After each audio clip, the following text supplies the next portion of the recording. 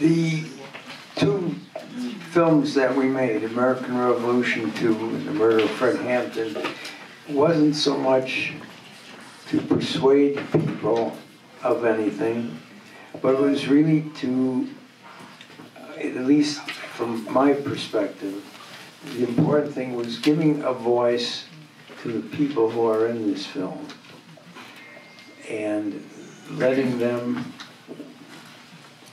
tell the world about their beliefs and what they're doing.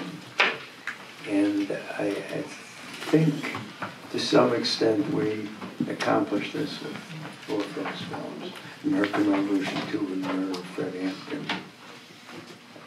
Maybe just one more question, if there's another question out there? Uh, you go. It's, it's not a question, but I,